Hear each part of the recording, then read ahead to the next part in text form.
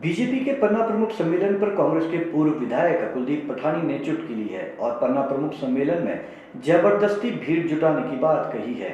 हमीरपुर संसदीय क्षेत्र के बीजेपी के ऊना में आयोजित पन्ना प्रमुख सम्मेलन पर कांग्रेस ने न केवल मात्र चुनावी स्टंट करार दिया है, बल्कि पठानिया ने आरोप लगाते हुए कहा कि पन्ना प्रमुखों के नाम पर ऐसे लोगों को ले जाया जा रहा है जिनका राजनीति से कोई लेना देना नहीं है।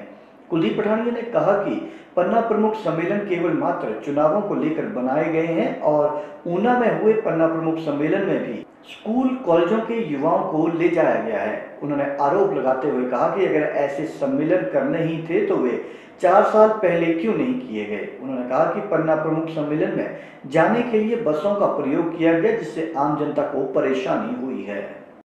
सम्मेलन जो बीजेपी कर रही है, ये आज हमीरपुर में कोई बस नहीं यहाँ रखी है। और यहाँ के जो कॉलेज और स्कूल के बच्चों को भी ले गए हैं।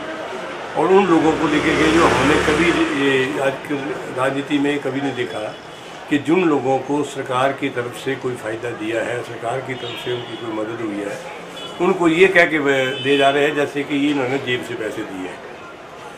और पन्ना प्रमुख का जो इन्होंने कार्यक्रम चलाया है, सिर्फ़ चुनावों के लिए ही है।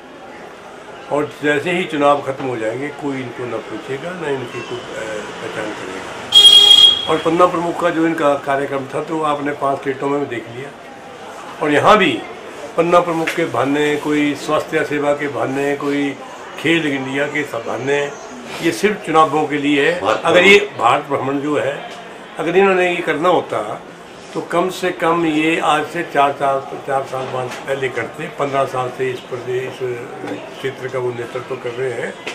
तो मैं समझता था वो इन्होंने ठीक लोगों के हित में काम कर रहे हैं। आज तो सिर्फ़ वोटों के लिए राजनीति की